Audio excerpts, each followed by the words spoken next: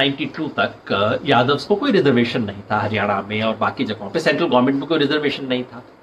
तो हमारे पढ़े लिखे रिश्तेदार कहा करते थे रिजर्वेशन बड़ी खराब चीज़ है एस सी लोगों को बताओ, ये दे दिया, वो दे दिया। सब तरह की बातें करते रहते। मैं डिफेंड करता रहता था, फिर कहते, तू तो ऐसी बातें करता है। फिर साहब, उनको रिजर्वेशन मिलना शुरू हो गया। 92 के बाद मंडल कमीशन आया रिजर्वेशन मिलना शुरू हो गया। अब मैं देखता हूँ उनके तेवर बदले नहीं नहीं नहीं, देखो। हम लोगों के साथ कितना अन्याय हुआ है, हम लोगों के साथ क्या कुछ हुआ है? अब मैं पलट के कहता हूँ जी, उतना अन्याय तो नहीं हुआ, जितना आप कहते हो आपके साथ हुआ है। तो जैसे ही इंसान का स्वार्थ आ जाता है तो अचानक तर्क बदल जाते हैं। पता नहीं क्या कुछ लोग बोलना शुरू कर देते हैं। इसलिए संभल के सोचें, संयत तरीके से सोचें। तो अब हम उस सवाल पे आ रहे हैं, जिस पे हम इस देश में बहुत बहस करते हैं कि ठीक है भाई रिजर्वेशन हो।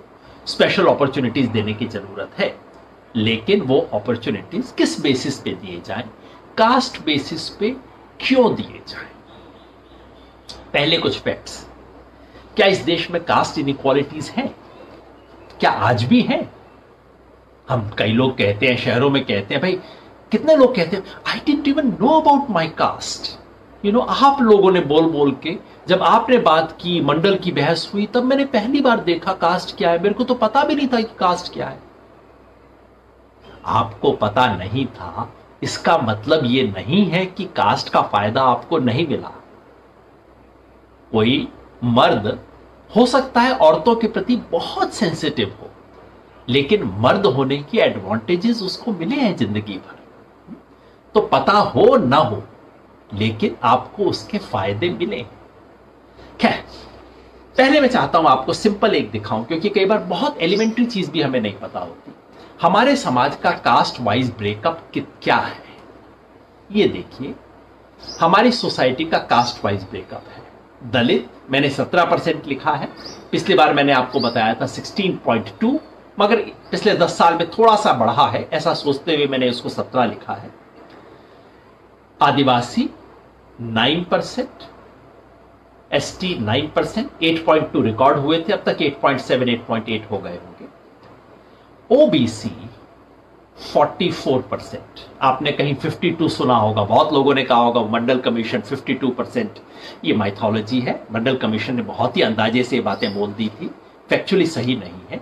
जितने भी सर्वे हुए, ये दोनों आंकड़े एससी और एसटी का आंकड़ा तो मैं सेंसस के आधार पर दे रहा हूँ, क्योंकि सेंसस में लिखा जाता है। ओबीसी का सेंसस में गिनती नहीं होती, वैसे ये भी बड़ी अजीब चीज़ है। जिसके लिए रिजर्वेशन का सिस्टम है, उसको सेंसस में गिना ही नहीं जाता। और आप गिनने की बात करो, लोग कहते हैं, हाय हाय, आप जातिवाद फैला रहे हो। अरे भाई रिजर्वेशन जब दे रहे हो तो कम से कम ये तो गिनना पड़ेगा ना। अगर महिलाओं के लिए आप स्पेशल स्कीम चलाओगे तो गिनना तो पड़ेगा कितनी महिलाएँ हैं। आर्मी में महिलाओं को लाने की स्कीम चलाओगे तो गिनोगे तो सही ना कि आर्मी में कितनी महिलाएँ हैं, कितनी नहीं है, कैसे नहीं तो करो। का अभी जो एनएसएस के आधार पे हमारा सबका आधार है, मूल्यांकन है, कई सोशल साइंटिस्ट लोगों से मैंने बात की है। एक मूल्यांकन है कि अंदाजन चवालीस परसेंट, बावन नहीं, फोर्टी फोर परसेंट। मिलके हो गए सेवेंटी। याद रखिए, मोटा आंकड़ा दिमाग में बना लीजिए S C plus S T plus OBC are seventy percent of our population तो बाकी तीस परसेंट अपर कास्ट ना ना ना ना, एक और कैटेगरी रह जाती है। तीस परसेंट जनरल जनरल में बाकी कौन बच गए? जनरल में अभी कुछ बच गए। देखिए ओबीसी में कुछ मुस्लिम्स तो आ गए, लेकिन काफ़ी मुस्लिम है जो ओबीसी में नहीं आते हैं। सिख, कुछ सिख तो एससी में आ गए, थोड़े से ओबीसी में भी आ जाते हैं, लेकिन काफ़ी सिख हैं जो कि ना एससी है, ना ओबीसी है। और क्रिश्चियंस कुछ तो ओबीसी में है, लेकिन क्रिश्चियन एससी नहीं हो सकते एसटी हो सकते हैं। तो इस सब के लिए अनुमान तय करके बहुत ब्रॉडली मैंने 10 परसेंट और बाहर कर दिए यानी कि जो जनरल हैं, लेकिन हिंदू नहीं। सिख है, क्रिश्चियन है मुस्लिम्स है उसको निकाल दिया तो बच गए 20 परसेंट। सिर्फ़ 20 परसेंट अपर कास्ट हिंदूज हैं इस देश में। और उसमें भी अगर महिलाओं को निकाल दिया जाए तो Hindu, upper caste Hindu males, ये सिर्फ़ टेन परसेंट है हमारे देश की पॉपुलेशन। ये मैं इसलिए कह रहा हूँ कि अब आप जहाँ हैं, वहाँ थोड़ा सा निगाह घुमा के देख लीजिए। आप किसी ऑफ़िस में काम करते हैं, आपके फ्रेंड्स का सर्कल है, आप किसी टीवी स्टूडियो में बैठे हैं, आप किसी टॉप एजुकेशनल इंस्टीट्यूशंस के अंदर क्लास में बैठे हैं स्टूडेंट्स हैं, कहीं टीचर्स हैं, कंपनी के सीईओज हैं। सिर्फ़ मन में एक हल्का सा कैलकुलेशन कर लिया कीजिए। अच्छा है जो, दस लोग दिख रहे हैं इनमें से क्या सात लोग S C S T OBC है? ये दो होने चाहिए अपर कास्ट हिंदूज होने चाहिए कितने हैं? मैं आपको एक अनुमान दिखाता हूँ। पिछले साल एक सर्वेक्षण आया, ये ऑक्सफैम ने किया है इंडिया के मीडिया के बारे में। इंडिया के मीडिया में अपर कास्ट हिंदूज कितने हैं? ऑक्सफैम का सर्वे है 2019 का। ये देखिए। टीवी एडिटर्स जो टॉप एग्जीक्यूटिव एडिटर्स जो डिसीज़न लेते हैं, जो टॉप लोग टीवी न्यूज़ देश में न्यूज़ क्या है तय करने वाले 88 परसेंट लोग अपर कास्ट हिंदू हैं जो टीवी पैनलिस्ट बैठ के ज्ञान देते हैं मेरे जैसे लोग, उनमें से 70 परसेंट है। और जो आर्ट ओपिनियन मेकर्स जो अखबारों में आर्टिकल्स लिख रहे हैं, देश, दुनिया की क्या स्थिति है, उसके बारे में बता रहे हैं, उसमें 72 परसेंट है। मोटी बात।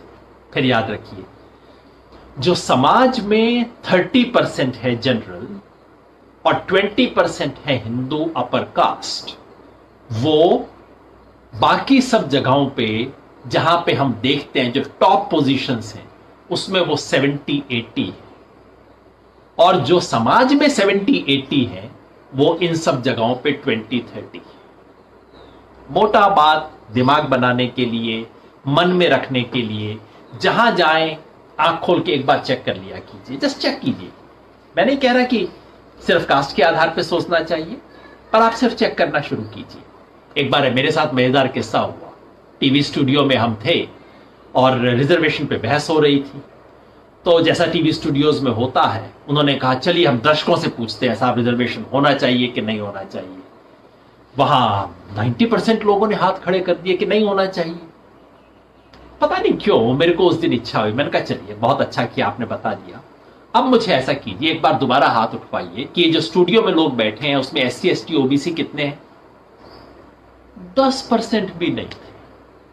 वो संयोग था। मगर आमतौर पे जो होता है, जो समाज में 80 परसेंट है, वो बड़ी बड़ी जगहों पे सिर्फ़ 20 परसेंट है। जो समाज में सिर्फ़ 20 परसेंट है, वो हर विजिबल जगह पे 80 परसेंट इतना बड़ा अंतर है हमारे समाज में। आज भी, पुराने जमाने की बात नहीं कर रहा, आज भी इतना बड़ा अंतर है। क्या ये अंतर एजुकेशन में है? ये मैं आपको एक आर्टिकल से दिखा रहा हूँ। ज़्यादा आंकड़ा दे दिया शायद मैंने इस टेबल पे दिखाई देगा या नहीं। ये आर्टिकल है सतीश देश पांडे का, जो उन्होंने आज से दस साल पहले लिखा था। उन्होंने क्या किया कि एनएसएसओ का आंकड़ा लिया और उसमें से देखा, ये ईपीडब्ल्यू में उनका आर्टिकल छपा था, सतीश प्रोफेसर सतीश देश पांडे वैसे मेरे प्रिय लेखकों में से हैं। कास्ट के सवाल पे इनक्वालिटी के सवाल पे रिजर्वेशन के सवाल पे बहुत सुंदर लिखते हैं और मैं तो बहुत सीखता रहता हूँ उनकी बातों से हमेशा। आप भी पढ़िएगा। Satish Deshpande caste inequality education higher education कुछ भी गूगल कर लीजिए, आपको उनके अनेक लेख मिल जाएँगे पढ़िएगा। ये उनका एपीडब्ल्यू में लेख है, जिसमें उन्होंने एनएसएसओ के आंकड़े देखते हुए ये देखा कि ये जो अलग अलग कैटेगरीज हैं, आप पढ़ पा रहे हो कि हिंदू, यूसी मतलब upper caste Hindu, OBC, Hindu, SC, Hindu, ST, Muslims. ये लोग मेडिकल कॉलेजेस में, इंजीनियरिंग कॉलेजेस में और ग्रेजुएट्स में इनका प्रपोर्शन कितना है? हमने देखा ना, जो समाज में 20 परसेंट है। वैसे ये आंकड़ा सिर्फ़ अर्बन एरियाज़ के बारे में है। अर्बन एरियाज़ में अपर कास्ट का पॉपुलेशन थोड़ा सा ज़्यादा होता है 30-35 परसेंट के करीब होता है। ये शिक्षा में कितने हैं? ये देखिए, आपको देख रहा है 67 percent medical colleges medical colleges के टू थर्ड स्टूडेंट्स एनएसएसओ के आंकड़े के हिसाब से अपर कास्ट के थे। तो जो लोग समाज में वन थर्ड से कम है, वो यहाँ टू थर्ड से ज़्यादा है। बाकी पंद्रह, दस, तेरह ओबीसी जो कि समाज में चौवालीस परसेंट है अर्बन एरियाज़ में पैंतीस चालीस परसेंट है, वो पंद्रह दस परसेंट है। एस सी तो बहुत कम है मुस्लिम्स भी आप देख रहे होंगे, बहुत कम है। इसको आप चेक करना चाहें तो आप ऐसा कीजिएगा, एक आता है हर साल annual higher education survey Bharat सरकार निकालती है, जिसके अंदर इस तरह के आंकड़े दिखाई देते हैं। मैंने इन आंकड़ों को पिछले साल चेक किया था। मोटी तस्वीर यही है, अगर आप इस देश के टॉप इंस्टीट्यूशन जो सेंट्रल एजुकेशनल इंस्टीट्यूशन हैं सेंट्रल यूनिवर्सिटी और नेशनली इंपॉर्टेंट इंस्टीट्यूशन उन सब के आप आंकड़े देख लीजिए, क्योंकि फॉर्चुनेटली वहाँ S C S T OBC Muslim सब आंकड़े मिलते हैं। अपर कास्ट हिंदू अलग से नहीं लिखा होता, लेकिन वो आप डिड्यूस कर सकते हैं जनरल कैटेगरी के हिसाब से। मोटी तस्वीर आज भी यही है, देश की टॉप एजुकेशनल इंस्टीट्यूशंस में आज भी 65 से 70 परसेंट स्टूडेंट्स जनरल या अपर कास्ट हिंदू वर्ग के हैं। यह तो तब जबकि रिजर्वेशन लागू है, उसके बाद भी यह हालत है। टीचर्स में 70 परसेंट से ज़्यादा टीचर्स सिर्फ़ इसी कैटेगरीज के हैं।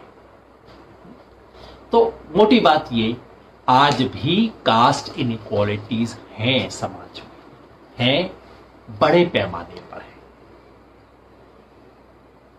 एक बात और पूछी जाती है कि ठीक है कास्ट इनक्वालिटीज है, लेकिन क्या कास्ट इनक्वालिटीज ही है और कुछ नहीं है?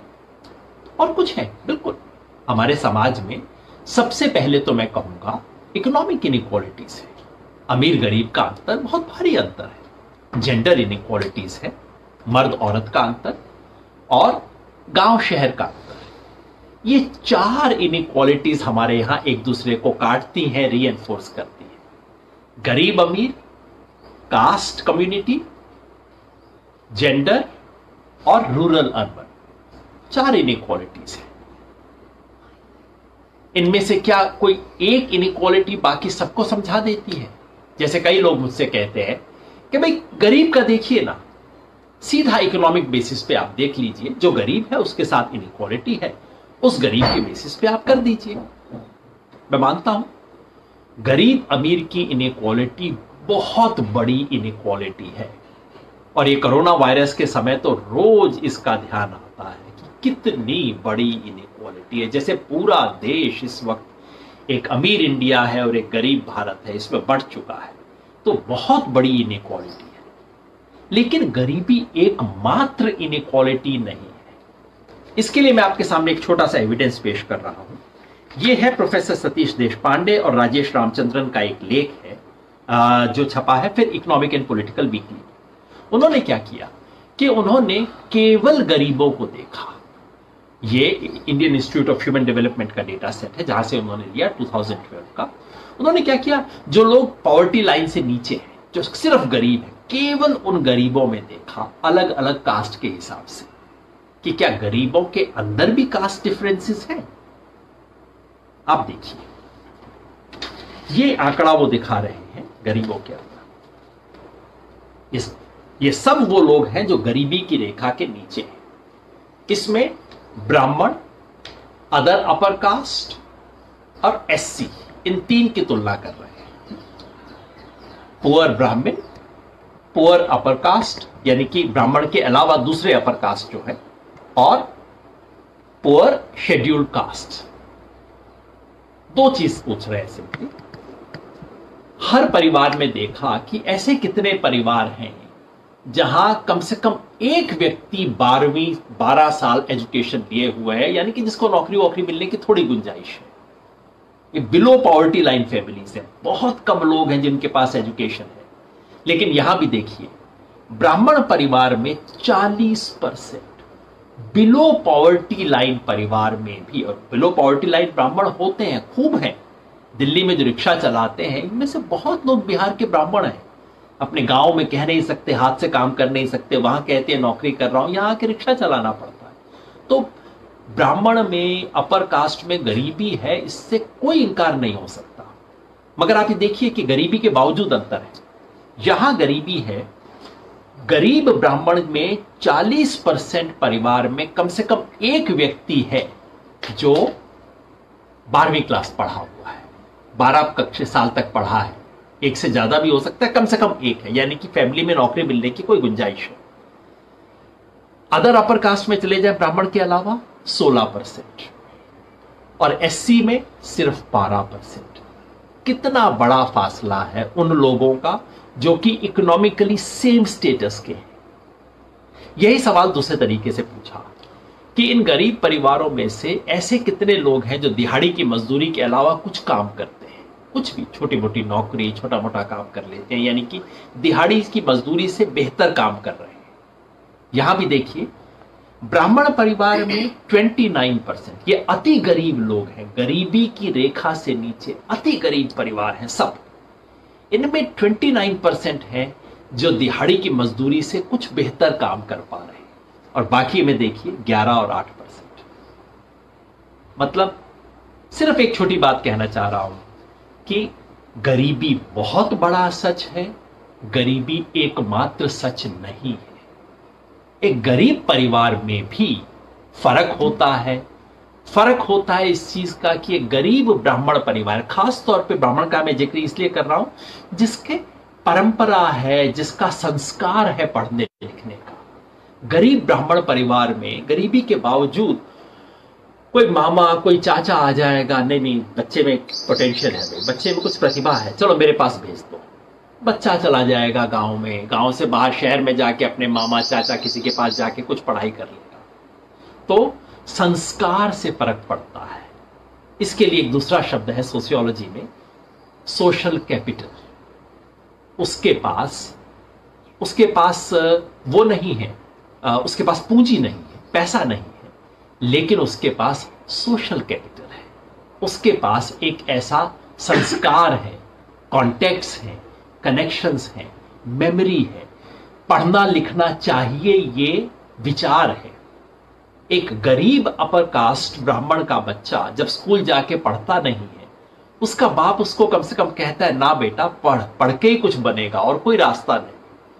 और वही एक दलित परिवार का, आदिवासी परिवार का बच्चा जब स्कूल से आके कहता है कि, ना, मन नहीं लग रहा। तो माँ कहती है, अब क्या करे, बच्चे का मन नहीं लगता, चल तू काम शुरू कर ले। वैसे दुनिया में मैं मैं खुद दो बच्चों का बाप हूँ, बता सकता हूँ। दुनिया में कोई बच्चा ऐसा नहीं है जो आके कभी एक दिन ना कहता हो कि नहीं, मेरे को स्कूल नहीं जाना। मेरा मन नहीं लगता, स्कूल नहीं जाना। वही अंतर शुरू हो जाता है। एक परिवार जिसके अंदर माँ जाके स्कूल टीचर से बात करेगी, बच्चा एडजस्ट नहीं हो पा रहा है, आप हेल्प करेंगे, ये खुद पढ़ाएगी, कुछ करेगी, और वो माँ जो कहेगी, ठीक है भाई क्या करते हैं? बच्चे का मन नहीं लगता, चल जाके तू अब पापा के साथ जाना शुरू कर दे, काम करना शुरू कर दे। सोशल कैपिटल ये इनविजिबल है, इसको आप पैसे से नाप नहीं सकते, लेकिन इससे फ़र्क पड़ता है, आप ज़िंदगी में कहा जा सकते हैं। खैर तो पलट के फिर आते हैं कि हमने अब तक ये देखा कि हाँ, हमारे समाज में इनक्वालिटी है। हमने देखा इनक्वालिटी कास्ट के बेसिस पे है, लेकिन सिर्फ़ कास्ट के बेसिस पे नहीं है। जेंडर पे है गाँव शहर पे है, पैसे के आधार पे है। तो फिर रिजर्वेशन होना चाहिए, लेकिन केवल जाति के आधार पर क्यों? मेरे दो तीन सुझाव हैं। दो तीन बात इस पे कह चाहता हूँ, उससे पहले कि मैं सुझाव पे जाऊँ।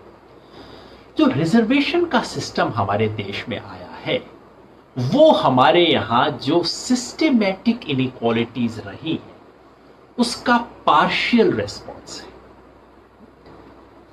कास्ट बेसिस पे रिजर्वेशन हमारे यहाँ इसलिए है कि कास्ट हमारे यहाँ की इनक्वालिटीज को मेजर करने का सबसे आसान तरीका है। कास्ट हमारे यहाँ छुप नहीं सकती, कास्ट दिखती है और कास्ट के बेसिस पे इनक्वालिटीज हैं, भी चल रहे हैं। इसलिए हमारे यहाँ इनक्वालिटीज को पहचानने का और उसे बराबर करने का एक सिंपल तरीका है। लेकिन इसके अलावा ये एकमात्र तर्क नहीं है। दूसरा तर्क ये है कि हमारे समाज में कुछ वर्गों के साथ स्पेसिफिक डिस्क्रिमिनेशन हुआ है। सिर्फ़ ये नहीं कि कुछ लोगों को शिक्षा मिल गई, कुछ बेचारे पीछे रह गए। ना, ऐसा नहीं कुछ को शिक्षा दी गई और कुछ को कहा गया कि तुम शिक्षा नहीं लोगे, वेद पुराण पढ़ोगे तो कान में शीशा घोल दिया जाएगा। ये इनक्वालिटीज थी ना। इसलिए उसको ठीक करने के लिए आपको दूसरे आधार, उसी आधार पर बदलना पड़ेगा। The criteria of affirmative action has to be the same as the criteria of discrimination जिस आधार पर समाज में इनक्वालिटीज और डिस्क्रिमिनेशन हुआ, उसी आधार पर पलटना पड़ेगा। अगर कोई ऐसा समाज हो, जहाँ नियम बन जाए कि जो छह फुट से लंबे लोग हैं, उनको कोई नौकरी नहीं मिलेगी, और इसको 500 साल तक कर दिया जाए तो क्या होगा? छह फुट से लंबे लोग मुरझाए हुए, झुके हुए कुबड़े की तरह झुक के चलना शुरू कर देंगे कॉन्फिडेंस खत्म हो जाएगा। और उस समाज में, मान लीजिए ऐसे द्वीप में आप पहुँच गए और आपको कहा गया कि आप इक्वालिटी स्थापित कीजिए तो आप क्या करेंगे? आप कहेंगे ना कि छह फुट से ऊँचे लोगों को विशेष अवसर दिए जाएँगे। घबराने की कोई बात नहीं है। छह फुट से ऊँचे लोगों को भी दिया जाएगा। ये बात पाँच फुट से नीचे लोगों पर भी लागू हो सकती है। कुछ भी कर लीजिए। जिस आधार पर डिस्क्रिमिनेशन होगा, उसी आधार पर रिवर्सल होगा।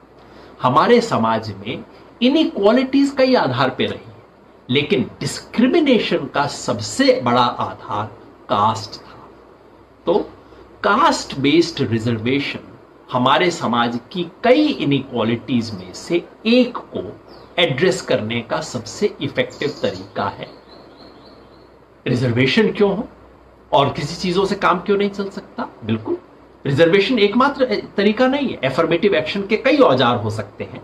रिजर्वेशन उनमें से सिर्फ़ एक इंस्ट्रूमेंट है। आप फेलोशिप्स दे सकते हैं। आप स्पेशल क्लासेस दे सकते हैं। स्पेशल ट्यूटोरियल्स दे सकते हैं।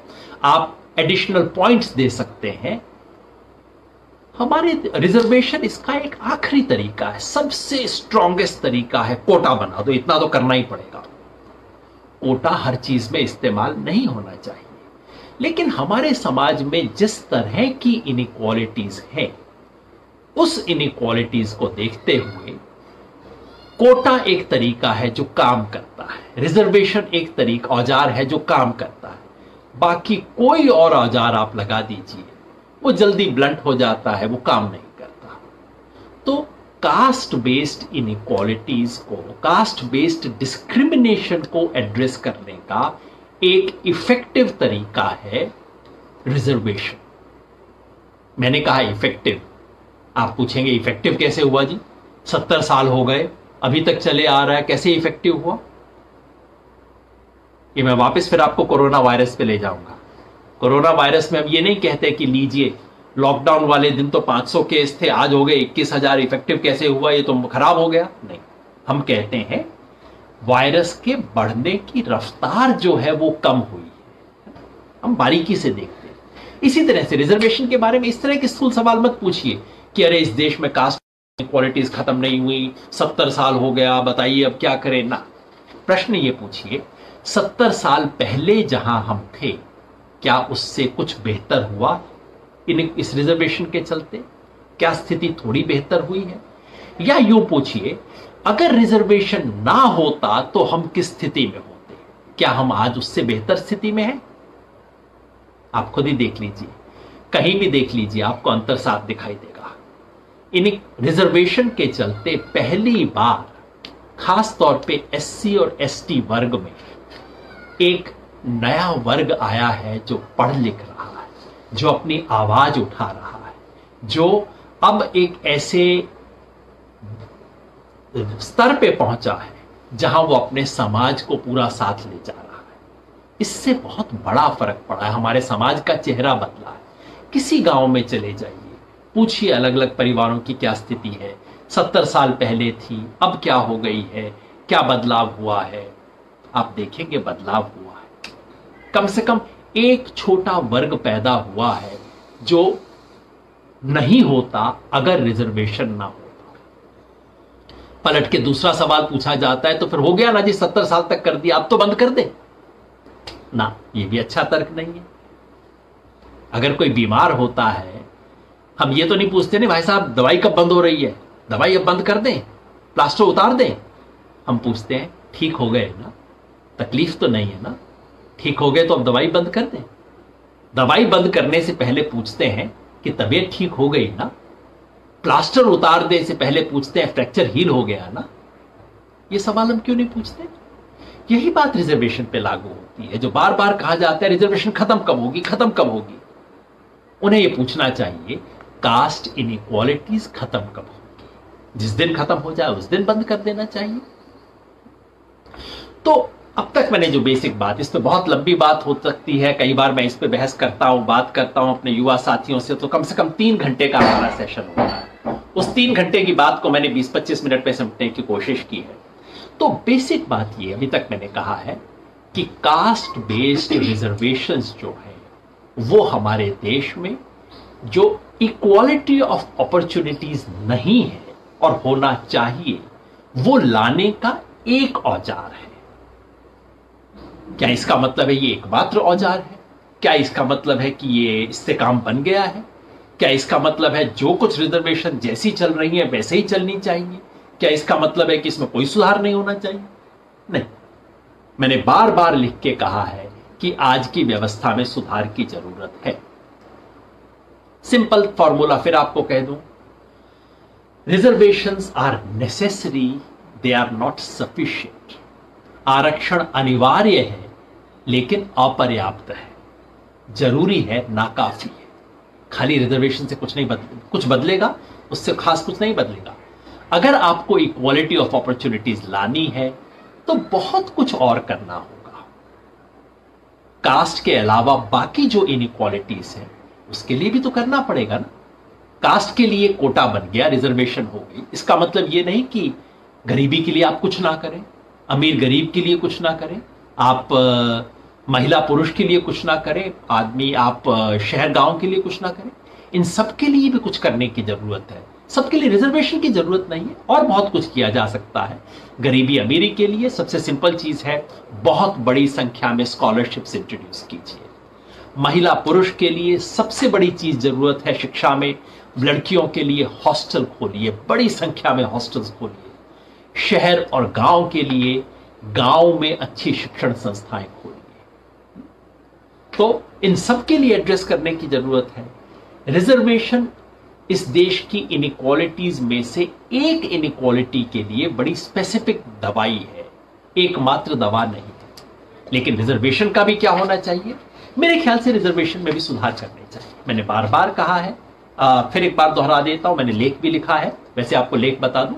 आज से कोई दस साल पहले जब मैं एकेडमिक हुआ करता था, तब मैंने लेख लिखा था। पत्रिका है सेमिनार और लेख का नाम है रीथिंकिंग सोशल जस्टिस इसे देखिएगा रीथिंकिंग सोशल जस्टिस जिसमें मैं कहता हूँ रिजर्वेशन बहुत एक सफल प्रयोग है हमारे देश में, लेकिन अब इस प्रयोग में काफ़ी सुधार करने की ज़रूरत है। और मैं बताता हूँ क्या क्या सुधार करने की ज़रूरत है। उसके कुछ मोटे पॉइंट मैं आपको यहाँ बता देता हूँ।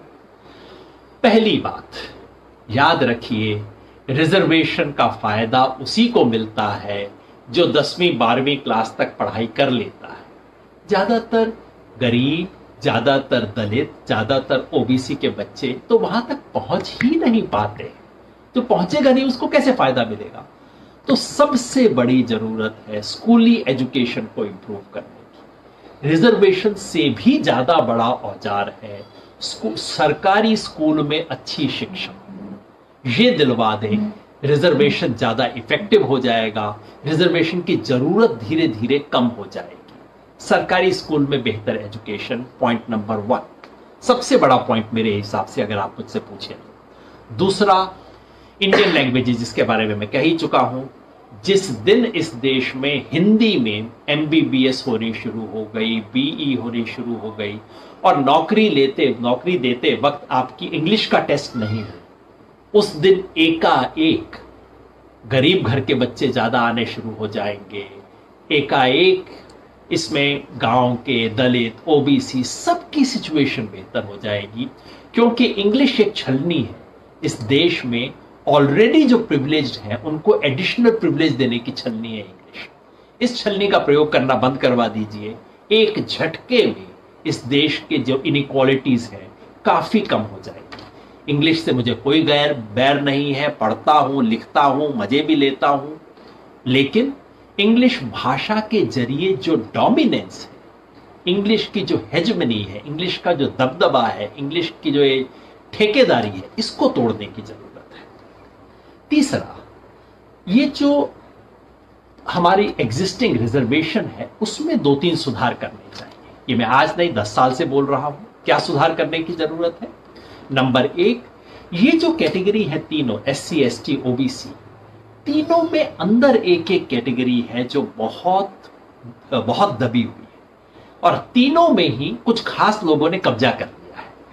एससी में दो तीन समाज हैं, उत्तर भारत में और दक्षिण भारत में, जिनके लोगों को आज से सौ साल पहले थोड़े से बेहतर एडवांटेजेस मिले थे। तो उन्होंने ज़्यादा रिजर्वेशन पे कब्जा कर लिया, बाकी सब लोग रह गए जैसे जो सफ़ाई कर्मचारी समाज है, जो मैंने ज़िक्र किया होगा, मुसहर समाज है अलग अलग तरह के समाज है ऐसे जो जिन्हें डर्टी ऑक्यूपेशंस बोला जाता था। वो आज भी रिजर्वेशन का फ़ायदा नहीं पहुँचा पा रहे हैं। मेरी राय रही है कि उनके लिए अलग सब क्लासिफिकेशन करना चाहिए। एससी कोटा के दो हिस्से हों कैटेगरी ए बी और जो बी यानी कि जो सबसे पिछड़े हैं, महादलित हैं, उनको विशेष अवसर मिलना चाहिए उस कोटा में। इसी तरह से एसटी में जो नॉर्थ ईस्ट के एस टीज है they have done relatively better because they have had access to better quality education लेकिन जो हमारे मिडलैंड के दलित के आदिवासी हैं, उनकी हालत बहुत खराब है तो उसको भी दो को अलग करना चाहिए। ओबीसी सबसे बड़ा केस है जहाँ चंद जो थोड़ी सी लैंडेड कम्युनिटीज है ना, यादव हुए, कुर्मी हुए वोकलिगास हुए, मराठा हुए, क्योंकि इनके पास ज़मीन है। इन लोगों ने लगभग सारे ओबीसी के उस पर कब्जा कर रखा है। और ओबीसी में जो सबसे नीचे वाले ओबीसी हैं, जो सर्विस कम्युनिटीज हैं, जो हाथ से काम करने वाले समाज थे, जो कारीगर लोग थे, उन सब की स्थिति आज बहुत खराब है। कई मायनों में तो जो लोअर ओबीसी है, उसकी स्थिति आज दलित समाज का जो टॉप वर्ग है, उससे भी ज़्यादा खराब है। इसलिए मैं बार बार कहता हूँ उनका कोटा अलग करने की ज़रूरत है और खा और ओबीसी के अंदर महिलाओं के लिए अलग से कोटा करने की ज़रूरत है। तो कोटा को सब कोटा में बांटा जाए। दूसरा सुधार जो मैं बार बार कहता हूँ, वो ये कि जिसे एक से ज़्यादा जनरेशन में रिजर्वेशन का फ़ायदा मिल चुका है, उसको रिजर्वेशन की लाइन में अंत में खड़ा कर दीजिए। यानी कि मान लीजिए, मेरे पिताजी रिजर्वेशन का फ़ायदा उठा के प्रोफेसर बने। तो फिर कम से कम प्रोफेसर की नौकरी के लिए रिजर्वेशन की लाइन में पहले नंबर पे मैं खड़ा नहीं हो सकता। मैं आखिर में खड़ा होऊँगा। रिजर्वेशन का एडवांटेज मिल सकता है, लेकिन तभी जब बाकी सबका नंबर आ चुका है। अगर क्लास थ्री ऑफिसर मेरे पिताजी बन गए तो क्लास थ्री तक की नौकरी में मुझे आखिर में खड़ा रहना पड़ेगा, सबसे आगे नहीं आ सकता। क्लास टू की नौकरी में मैं रिजर्वेशन का फ़ायदा नॉर्मल तरीके से सबसे आगे खड़ा होकर ले सकता हूँ। यह बदलने की ज़रूरत है। मैं काफ़ी समय से इसके लिए कहता रहा हूँ। रिजर्वेशन को और रिफाइन करने की ज़रूरत है। और आखिरी बात, रिजर्वेशन का दायरा एफर्मेटिव एक्शन का दायरा बढ़ाने की ज़रूरत है। हमारे देश में रिजर्वेशन एफर्मेटिव एक्शन की सारी बात सिर्फ़ और सिर्फ़ सरकारी नौकरियों पे लिमिट होकर रह जाती है। सरकारी नौकरियाँ है कितनी? इस देश में हर तरह की सरकारी central government state government public sector ये अंडरटेकिंग वो अंडरटेकिंग सब मिला दीजिए। अंदाजन दो करोड़ नौकरियाँ हैं। और इस देश में टोटल कितनी वर्कफोर्स है? हमने देखा था पिछली बार, जब हमने अनएम्प्लॉयमेंट पे बात की थी, पैंतालीस करोड़ लोग 45 करोड़ में से सिर्फ़ दो करोड़ नौकरियाँ पब्लिक सेक्टर में हैं। और पब्लिक सेक्टर की नौकरियाँ कम हो रही देश बढ़ रहा है ग्रोथ हो रही है पॉपुलेशन बढ़ रही है, ज़रूरत बढ़ रही है, लेकिन सरकारी नौकरियाँ घट रही है। परसेंटेज में नहीं घट रही एक्चुअली नंबर्स घट रहे हैं सरकारी नौकरियों के। तो सारी बहस उस छोटे से हिस्से पे हो रही है, एक छोटी सी स्लाइस है, उसी पे सारी मार काट है, सब लगे हुए हैं, मिलेगा रिजर्वेशन नहीं मिलेगा, जान दे देंगे, आग लगा लूँगा। सब छोटी सी चीज़ के बारे में, बाकी नब्बे परसेंट की कोई चर्चा ही नहीं हो रही। आज की तारीख में सरकारी नौकरियों से ज़्यादा संख्या में ऑर्गेनाइज सेक्टर की प्राइवेट नौकरियाँ हैं।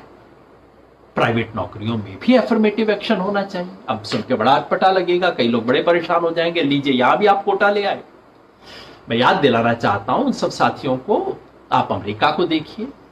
अमेरिका में, क्योंकि अमेरिका की कैपिटलिस्ट काफ़ी ज़िक्र होता है। अमेरिका कैपिटलिज्म मेरिट इस सब का ज़िक्र होता है ना। अमेरिका की हर कंपनी को हर साल लिख के देना पड़ता है कि उसकी डाइवर्सिटी प्रोफ़ाइल क्या है। यानी कि आपके कितने टोटल एम्प्लॉयज़ हैं, उनमें से कितने व्हाइट हैं, कितने ब्लैक हैं। और आप ब्लैक एम्प्लॉयज़ को इंप्रूव करने के लिए क्या कर रहे हो? इंडिया में क्यों नहीं हो सकता? डाइवर्सिटी प्रोफ़ाइल हर कम्युनिटी की चेक की जाए। इसके लिए एक रिपोर्ट हुई थी, आज से 10 साल पहले भारत सरकार की एक कमेटी बनी थी इक्वल अपॉर्चुनिटी कमीशन बनाने के लिए। मैं उसका एक हिस्सा था, इसलिए पहले से बता दूँ कि ये थोड़ा सा सेल्फ प्रमोशन है कमेटी बनी थी जिसने कमेटी ने ये सब रिकमेंडेशन दिए थे। उस पर कुछ काम नहीं हुआ। इक्वल अपॉर्चुनिटी कमीशन होना चाहिए। केवल सरकारी नौकरी नहीं प्राइवेट नौकरियों में भी इस देश की डाइवर्सिटी दिखनी चाहिए। ये सब करेंगे तो हम बेहतर बढ़ेंगे, बेहतर सोचेंगे, आगे बढ़ेंगे। एक ऐसा समाज, आखिर में एक ही बात कहना चाहता हूँ। मेरा लक्ष्य है एक ऐसा भारत जिसमें रिजर्वेशन ना हो। इसलिए नहीं कि रिजर्वेशन खत्म कर दी गई, बल्कि इसलिए कि रिजर्वेशन की ज़रूरत ना हो। जहाँ औरत को महसूस ना हो कि उसे रिजर्वेशन की ज़रूरत है।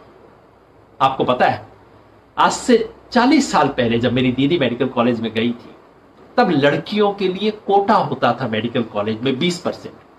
उसके बाद एग्ज़ाम में 40 परसेंट लड़कियाँ पास करने लग गई, कोटा महत्वहीन हो गया, अब शायद वो कोटा खत्म भी हो गया होगा।